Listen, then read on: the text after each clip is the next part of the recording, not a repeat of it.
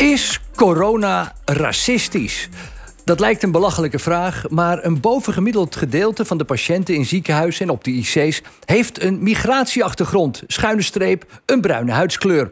Het was nieuws dat in het begin een beetje weggehouden werd in deze woke en politiek correcte tijden, want we zijn toch allemaal gelijk. Maar toen kwam dat nieuws toch. En het eerst uit Amerika.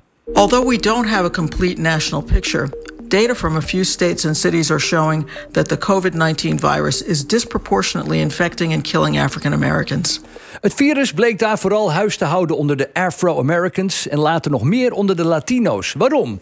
Veelal werd de oorzaak gelegd bij gemiddeld minder geld, dus kleinere behuizing, dus gezinsleden dichter op elkaar, daarnaast veel meer diabetes en gemiddeld meer contactberoepen. Dus niks thuiswerken achter je laptopje. Maar daarna volgde er een ander verhaal, waaronder dit bericht uit Londen. In sommige wijken, met name de sociaal wat slechtere wijken, wijken waar veel etnische minderheden wonen, daar blijkt de bereidheid om het vaccin te nemen een stuk kleiner. De vaccinatiebereidheid lag in die wijken op het niveau van, laten we zeggen, Urk. En dat bleek natuurlijk ook voor Nederland te kloppen. Ja, het gaat dus goed met de vaccinatiecampagne, maar er zijn ook zorgen. Vooral Nederlanders met een migratieachtergrond blijken minder bereid om een prik te halen. Waarom geen prik? Geld kan hier niet het probleem zijn, want de prikken zijn gratis. Dus waarom niet? Werd ook hier op Radio 1 gevraagd. Oh, en wie zegt dat Radio 1 altijd zo politiek correct is? Moi.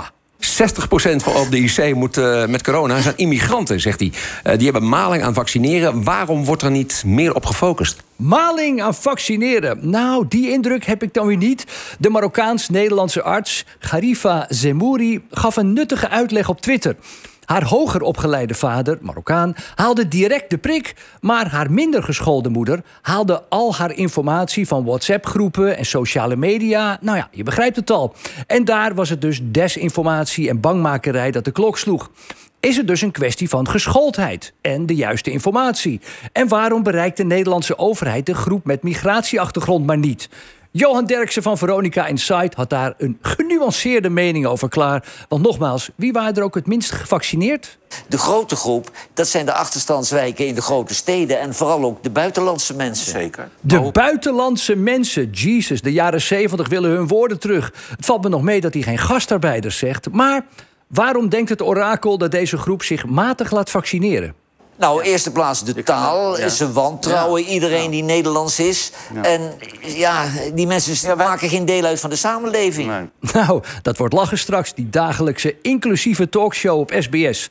Maar in al zijn botheid... Het was inderdaad zo dat toen president Erdogan zijn bevolking opriep om mondkapjes te dragen, dat dat ook in de Nederlands-Turkse gemeenschap veel meer opgevolgd werd. Veel meer dan toen Hugo de Jonge het verkondigde. Nou ben ik eerlijk gezegd ook langzaam op het punt dat ik liever naar Erdogan luister dan naar Hugo de Jonge.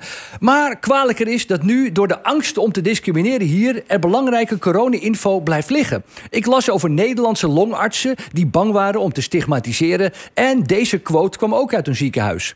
We zijn bang te discrimineren als we bepaalde kenmerken bijhouden van mensen met migratieachtergrond, maar laten daarmee de kans liggen om de gezondheid te verbeteren. Dat is toch idioot?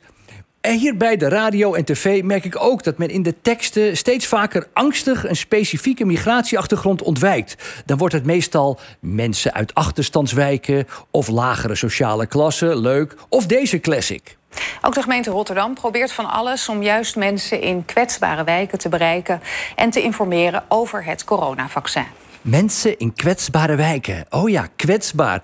Maar dat blijven ze dan ook als niets duidelijk benoemd wordt. Want er zijn verschillen. In Amerika bleken geneesmiddelen die goed werkten bij, witte, bij de witte bevolkingsgroep veel minder goed te werken bij de zwarte bevolkingsgroep. Marokkaanse mensen blijken bepaalde medicijnen sneller af te breken dan de witte Hollanders en hebben dus meer nodig.